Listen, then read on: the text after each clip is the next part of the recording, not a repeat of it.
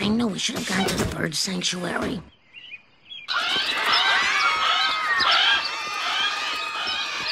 I need the biggest seed bell you have.